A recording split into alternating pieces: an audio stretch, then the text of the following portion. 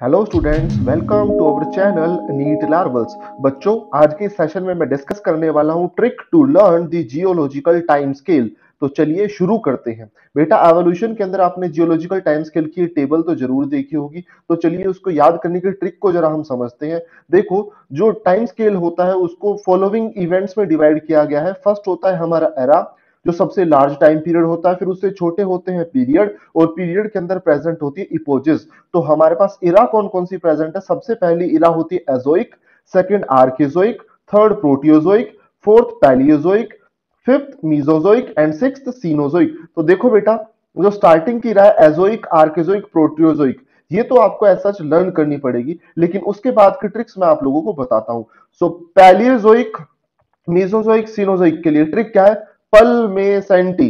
भाई, किसी को प्यार हो गया और वो पल में क्या हो जाता है? सेंटी हो जाता है। सो पल पैलियोजोइक में Mesozoic and Cenozoic for centi ठीक है?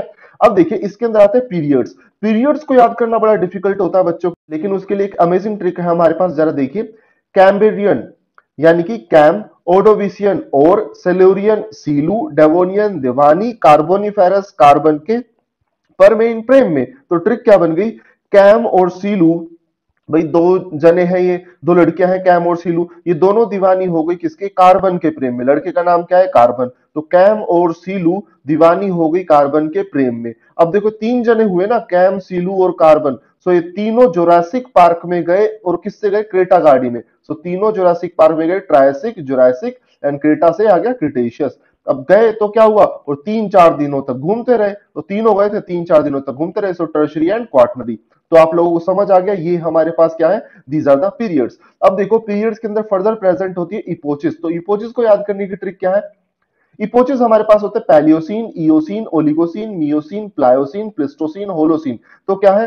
Put egg on my plate please honey भाई, क्या कोई अपनी गर्लफ्रेंड को बोल रहा है, अपनी वाइफ को बोल रहा है प्लीज़ मेरे प्लेट के अंदर एग डाल दीजिए। तो क्या होगा? Put egg on my plate please honey so Palaeocene Eocene Oligocene Miocene Pliocene Pleistocene and Holocene for honey ठीक है? अब इवेंट्स को जरा हम देखते हैं तो इवेंट्स देख लीजिए। इनकी कोई ट्रिक नहीं है बेटा। इवेंट्स तो आपको याद ही करने पड़ेंगे, लेकिन इनका एक सीक्वेंस है। जरा उस सीक्वेंस को समझो। एजोइक इसमें हुआ था केमिकल एवोल्यूशन आर्केजोइक यहाँ पर क्या होता? प्रोकैरियोट डोमिनेट हुए थे, यानी कि इनविजिबल लाइफ थी इस टाइम पर। प्रोटीरोजोइक यहाँ पे प्रोटोजोआ का फॉर्मेशन हुआ था।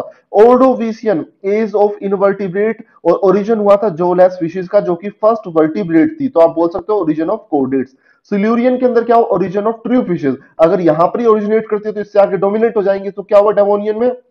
फिशेज डोमिनेट और ओरिजिन हुआ एम्फीबियंस का। तो कार्बोनिफेरेंस में एम्फीबियन डोमिनेट कर जाएँगे। एम्फीबियन डोमिनेंट और ओरिजिन हुआ किसका? रेप्टाइल्स का।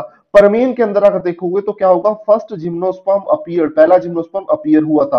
ट्राइसिक के अंदर क्या था? Origin of dinosaurs and oviparous mammals तो अगर डायनासोर का ओरिजिन यहाँ पर हुआ तो डायनासोर यहाँ पर कर जाते हैं डोमिनेंट इन जोरासिक और क्रिटेशियस में जाके क्या हो जाता है? एक्सटेंशन ऑफ़ डायनासोर साथ के साथ क्रिटेशियस में होता है origin of placental mammal and modern birds ठीक है? और लास्ट में प्लेस्टोसिन के लिए आप लोगों को याद रखना इसमें क्या होता है? ह्यूमन अपियर हुए थे।